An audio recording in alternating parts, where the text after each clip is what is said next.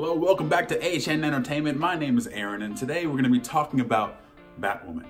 With the new arrival of her series on the CW, I think it's time we dive into her origins and find out exactly where she came from.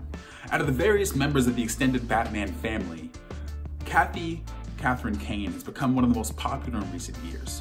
Originally introduced in the year 1956 in Detective Comics 233, she was brought into the comics as a sort of counter method because claims were running high of Batman and Robin having an inappropriate sexual relationship.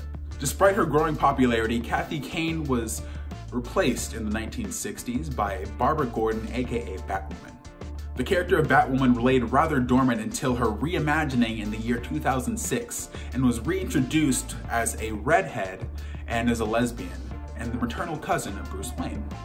The change in her sexual orientation garnered massive media attention and cemented her as one of the most popular LGBT characters to date in the DC universe.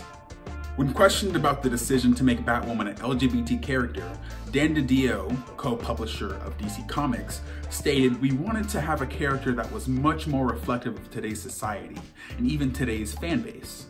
One of the reasons we made her gay is that, again, when you have the Batman family, a series of characters that aren't superpowered and inhabit the same circle in the same city, you want to really have a point of difference. It was really important for me to make sure every character felt unique.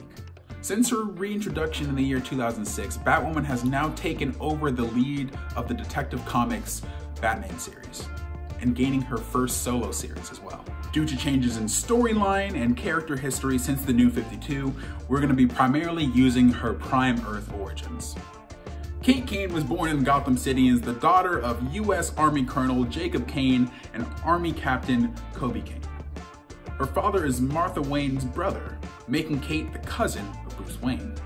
Due to her parents' active military service, she moved around frequently until her family went overseas to Brussels, Belgium.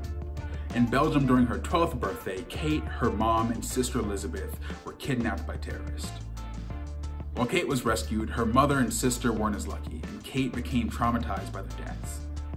Kate went on to study at West Point where she did very well but was expelled in her final year for coming out as gay. After her expulsion, Kate traveled the world attempting to battle her depression and repress her trauma.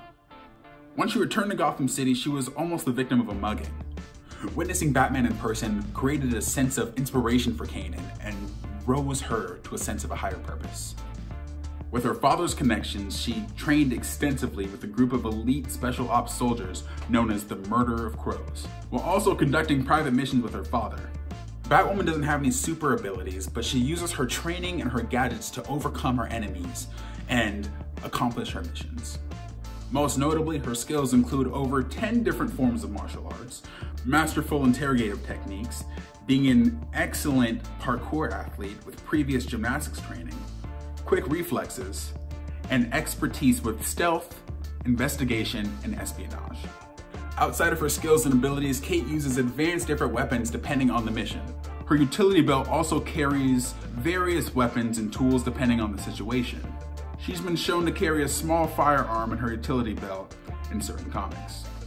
If you want to read some Batwoman comics, we at HN highly recommend checking out her solo series that ran from 2011 to 2014. Outside of the comics, be sure to check her out in the new CW series that airs this October of 2019.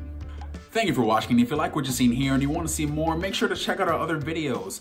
Also comment, subscribe, let us know what characters you would like to see in the future. And until next time, I hope you have a fantastic rest of your day.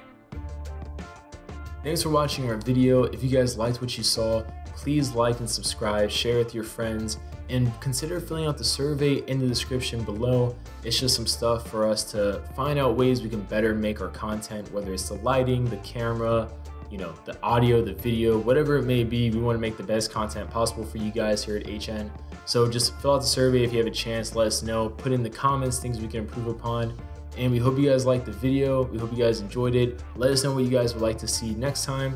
We'll see you guys later.